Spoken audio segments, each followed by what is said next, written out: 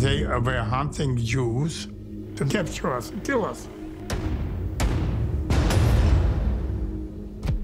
They killed my child and my parents.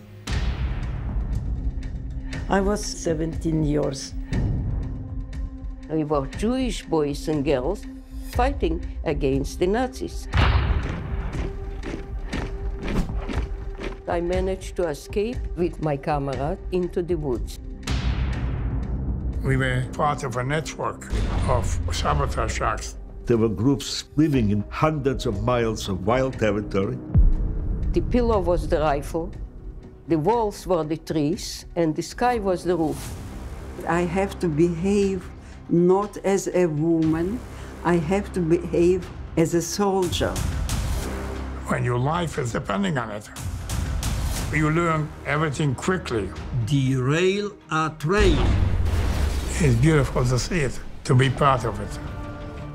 The braveness, the courage, it grows from you, yes?